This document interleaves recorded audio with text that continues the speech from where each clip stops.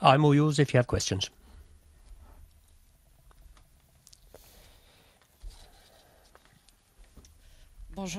Hello, gentlemen. Camille Macali from L'Équipe. A first question for you, Fabien. How do you feel? It's now been four years you've been preparing for this meeting. We felt you a little bit nervous before the opening game. What's your current state of mind? You're always nervous before that kind of game. It would be to lie to say that we don't feel any tension. Of course, we all feel it, and that's what is uh, adds uh, flavor to those instants and what we've been saying since we started this competition. We've been trying to enjoy those moments because they are rare moments in your life, and we try to live them well, to live them together, and to progress towards this uh, rendezvous with pleasure, with joy, with happiness, and determination as well, of course. Hello, gentlemen. A question for Antoine. Euh, since your injury, uh, many things have happened since your injury. So just on the emotional and physical levels, can you tell us how you feel today? Oh, I feel very well today on in both areas. At the time, I didn't know how serious my injury was, so I thought the competition was over for me. But I had to wait for the exams, uh, the meetings with the surgeon, the operation Uh, to get hope back. My convalescence went well. I was able to progressively start uh, go through the stages again before starting to play again. I was lucky enough to have several weeks in which to do this, and today I am fully capable. I'm in full possession of my means, whether physical or technical, and to be ready for this game on Sunday. Fabien, hello. Euh, euh, on a personal level, would you say this is the most important game of your mandate? Well, uh, as it happens, we're uh, heading for a meeting that will be the most important, but that's because it's the one that's coming up. The past is, well, is been shelved. It's on the shelves, it's been, or it's part of your experience, but the meeting that's approaching, well, maybe I'll talk about the South African team first. To play such an opponent who have who are world champions, who have been world champions for four years, who beat the Lions. They're a team who is all-conquering, a winning team. Again, a team that also inspired us a lot. We followed them closely and tried to understand their vision, the sense they gave to their commitment. They talk about their nation, of unifying the nation. They wear a whole symbol of a country that we love. Well, personally, since I've lived over there in 1995, and I learnt a lot over there of their vision, of their country, of their culture. So for us, playing against this team in Paris at the Stade de France in a World Cup quarter-final, it's magnificent. It's marvelous. I keep on repeating those words, but we're aware of it. I'm aware of it because it was questioned to me, but we are all aware of it. Uh, but we just have to say that for us, what's at stake is, as it has been since the beginning, is to play, is to play, simply to play rugby with pleasure as a team. And with ambition. We want to meet this challenge, as we always have. Uh, hello to both of you. To your left here at the back, Pierre Robin for Canal+. Fabien, the South Africans went to a 5-3 bench split. They previously played 7-1 or 6-2. Uh, have you adapted with the uh, their team announcement by changing your plans at the last minute, and what does it change for you? Well, to know the uh, uh, South African team and their staff, if they are world champions and beat the Lions, is because they have got a very sharp tactical approach. It's very, very well thought out. They always come up with a strategy with a very well studied plan for the opponent. Nothing is left to chance. Uh, it's not chance that makes them select their team. They haven't been playing for two weeks. They've been observing what's going on around them for two weeks now. I think they know us very, very well. They've studied us very, very well and their choice to line up, uh, first of all, a team selection that is actually quite particular because there's a few changes in there, and their choice also to to have a 5-3 bench split is founded. It's a, this is a tactical decision. It's strategic. It's a thought-out decision. It's a game of chess. They came out, they put out their team selection this morning. We were also thinking about what they might uh, put up. And, well, that's it as well. That's match preparation as well. It's a level of strategy, of thought processes pushed to the extreme. So it's perfect. It's perfect. Fabien, uh, we get the feeling through this uh, team selection by the Springboks that they will be adapting to you, which is not necessarily part of their culture. Does this give you even more confidence in your strategy, or does it make you doubt two days before the game? Well, I think they always adapt. You shouldn't think they've got strong points, and they are aware of it and they claim it loudly, but they are a team that always adapts, always, always, always. Every time they will take bring something out, so they'll take out what they do best to help them to be tactically perfect in the game against the opponent. They always very read the game very accurately. I've spent time with them and their staff in the past uh, because they're in Munster. They're at Munster. It's not a chance. It's not by chance that the team performs as it performs. It's very intelligent, very tactical. We're in a in the world of strategy and tactics at the moment, and that's uh, quite not a bad thing for us. Martin Ange for Europe One.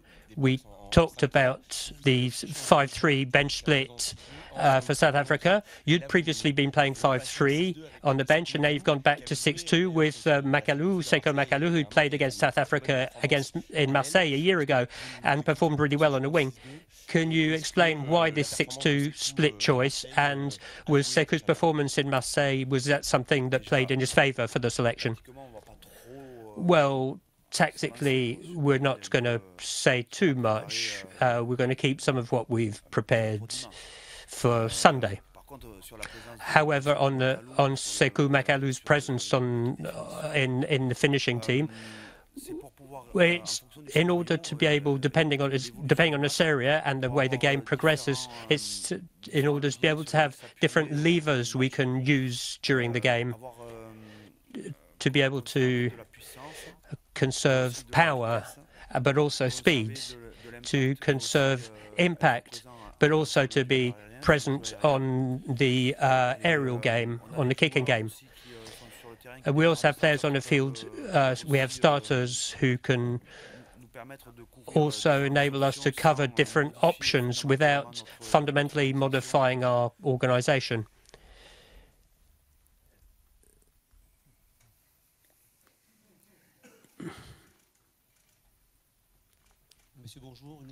Gentlemen, a question for Antoine uh, on the evening of 21st of December when you get injured, were you afraid you might not replay again during this World Cup? Yes, as I said, I didn't know the nature of my injury, even though I knew there was something wrong. I felt it uh, during my first X-ray, uh, so it was a difficult moment. The World Cup is long, and I'm lucky enough that my injury occurred early enough in a competition. I'm lucky also to have this, uh, to have had this uh, weekend off, which has given us time to regenerate, to prepare, to get the feelings back, to spend a full training week with the group even if now for we, we know each other well after four years, but it was important for me to be able to validate all the stages before being uh, back for this weekend.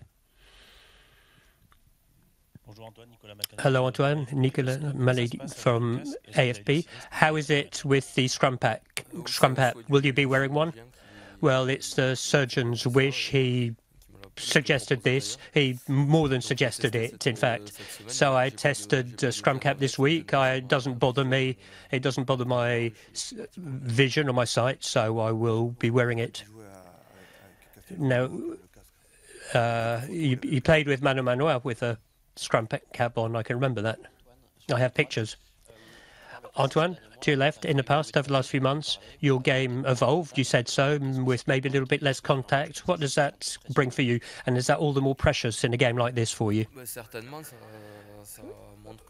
Well, surely it shows that I've uh, gained an experience and I can adapt to the opponent as to, to what's put in front of me it wasn't really a will to change the way I played. Uh, it's more a question of adapting. If there's less space in front of me, it means there's some a bit further away. So the Scrum Half's first role is to make his team play well, to make his teammates play well. So I find myself, I, I like that game as much as the one where I carry the ball more. It's sure I get that against a defence like the South Africans, who are very aggressive, who come up very high. Uh, it's best to have a little bit of comfort and put the ball in our uh, receivers' hands, whether our forwards or uh, the fly half. But once again, we'll need to adapt to what's put in front of us and go and find the spaces where they will be on Sunday.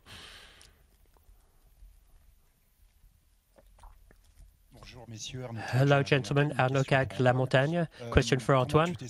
How did you feel uh, in the first contacts in training? Well, it was quite progressive. I started low-intensity running, and then I went up and up, and the same with contacts. I started in the middle of last week to uh, to find a few more uh, shapes uh, without too much intensity, and then a bit more during the weekend. And this week, I was able to train fully so this progression, uh, this pro and to be able to get back to collective trainings, to get back in game situations, into contact situations, enabled me to get my confidence back and uh, find myself fully ready and fit. I had no pains, and that also reassured me. It was important, as I said, to be able to validate all the different stages of recovery. I'd like to add that in terms of uh, all the pressure that there was around Antoine and his injury, we treated the subject uh, in a very relaxed way, with first of all, of course, the medical side, the surgeon, and with Antoine, of course, as we said, we were comfortable because we had some time and we never forced any of the decisions. We took it step by step we didn't push anything at all in any particular direction. We approached all the stages with a lot of uh, serenity and relaxed. The World Cup, as Antoine says, is long, and that gives us the possibility of starting the World Cup with 33 of us and still have the same 33 at this stage, even if uh, Julien has only played a quarter of an hour against the All Blacks. But Julien is also coming back He's uh, keeping himself ready, and Antoine has had the time to recuperate, as have uh, had other players. That it's also this a World Cup. They're also won during uh, over the duration and during the waiting phases between games. Hello, gentlemen. A question for Antoine. So, uh, mentally, how do you pre prepare to play an opponent whose uh, style of game and whose intensity uh, uh, is, and how do you manage to prepare the pain? Mentally, do you think do something else? Do you think about something completely different, or have you integrated that there will also be pain involved? Well, on these games at that level of intensity, there will always be a bit of pain, whether physical or mental. It's uh, these ga games are very trying. International games are. We had a trying game against uh, them in November, but every time we play against big nations, and even more so when there is uh, when the stakes are high, whether a Six Nations game or on the tours when we played uh, against the All Blacks or Australia, these are always very hard physical games, and we need to be ready to suffer to reach uh, what we want course, we have very high goals, very, and there are ingredients we need to put in, and we know that it will be very hard from the start whistle to the final whistle. If we're not ready for that, I don't believe we're ready to get to where we want to go. Final question. Antoine? With Fabien, you have a special relationship with him. Fabien, I think you met, you had a problem in 2001 with your nose. Did you did you discuss this uh, with uh, him? Did was he able to give you his personal experience of what he went through? Yes, it's true. He did uh, talk to me about it, but as he said, I didn't really feel any pressure from the staff. It all happened quite naturally. And if I'm playing today, it's because uh, everything's fine. I have the surgeon's approval. No decision was forced. We respected all the uh, timetables imposed from the beginnings. The different stages were progressive. And the most important thing was also how I felt. At each uh, validated step, at each validated stage, not have any apprehension, not to play with fear or with a brake, with a handbrake on. That was the main thing, to think about the team uh, before above yourself. And I know very well that if I hadn't been able to play, I'd have been replaced in the best way, whether Max or Baptiste. Every time they were been on the field, they have performed really well. they also know the they know the team and the group as well as I do, and we've all been working together for four years to get to this stage. So I didn't feel any particular pressure for, on that side. If I'm playing today, it's because I feel well, I feel good, and that the medical side has validated my place on the team sheet. I think aesthetically it's better for, he looks better than I did. Uh, medicine has improved. It was a long time ago.